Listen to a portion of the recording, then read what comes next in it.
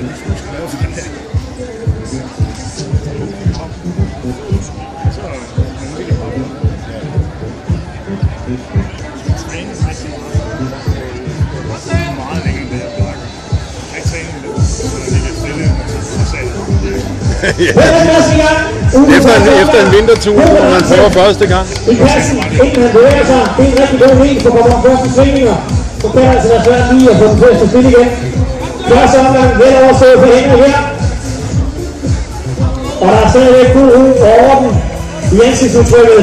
En lille vigtig detalje, hvis I lægger mærke til, at Henrik sørger for at trække vejret. Det kan være en rigtig, rigtig stor Henrik, hvis man glemmer at få luft. Det skal man huske. Og her er fuldstændig styr på vejrtrækningen her. Og godt i gang med at på anden omgang. Ja tak, anden omgang i hus.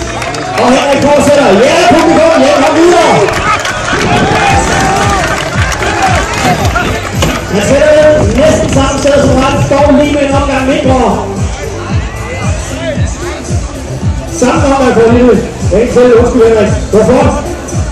Så spil sig fejl her. Det er flot. Det var nok det selv. Det sagde jeg jo på højt.